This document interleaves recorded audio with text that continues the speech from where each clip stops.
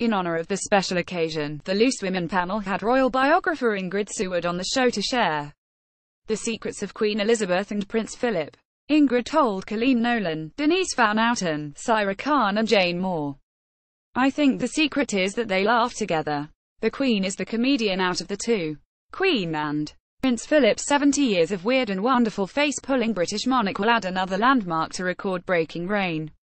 When she and Prince Philip celebrate 70th wedding anniversary on Monday 153 she added the Queen is a brilliant mimic and she can do Liverpool, she does Irish, she can do all kinds of accents, she is very good at American too. Jane then asked her if she thought that it bothered Philip that the Queen wore the trousers.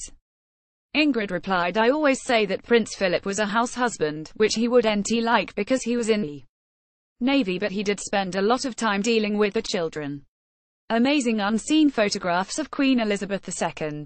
Candid photographs of a young Queen Elizabeth II with her father, King George VI 123 The Queen was 25 years old and suddenly she is doing all of the state business, meeting people every 15 minutes. She also revealed that the Queen and Philip have a bedroom together but Philip also has his own.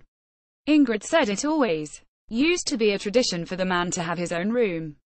When royals go rogue the moments that left the monarchy red-faced the moments that left the monarchy red-faced from Prince George, Prince Harry and Little Princess Charlotte. 115 It is for if he is sick, or is having a late night, or has been out with the boys. Loose Women continues tomorrow at 12.30 pm on ITV.